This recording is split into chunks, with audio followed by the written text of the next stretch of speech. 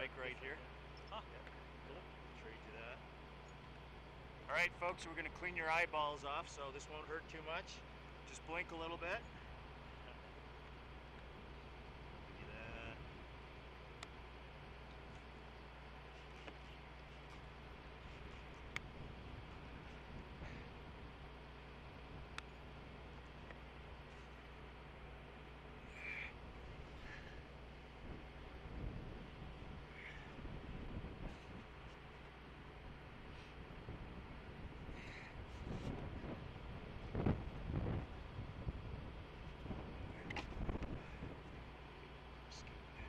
Yeah, this is a high resolution camera, so we can zoom. The reason we call the female Iris is uh, she's got these distinctive dots on her iris, so we can identify her every year. Oh, really? We know it's her, yeah. Even though we don't have her banded, we can tell her by her iris. Yeah.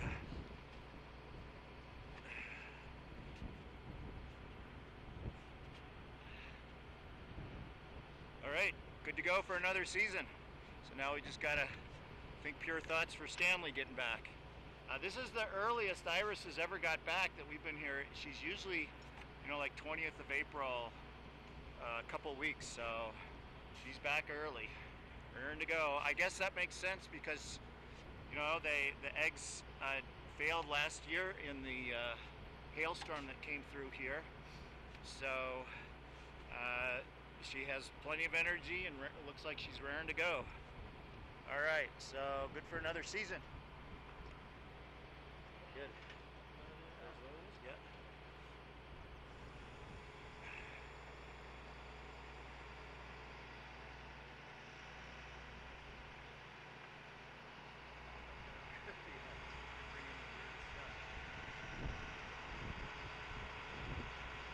Let's just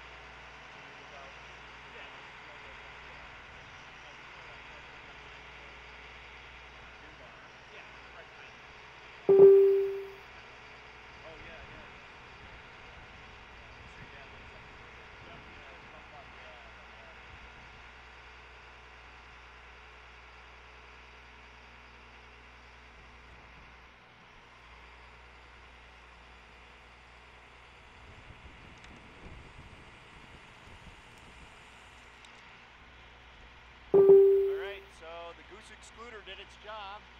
Kept the geese off. There would have been a Canada goose nesting here if we hadn't put this up. I'm gonna chuck it down now, and I'll start in my garage for next year. And uh, checking this to make sure there's no baling twine. Here's a little rope and stuff they might get caught in, so we'll take that down. But uh, yeah, there's some there's a little fresh garden greens here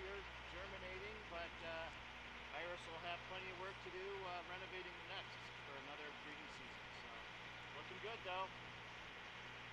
All right, see you later.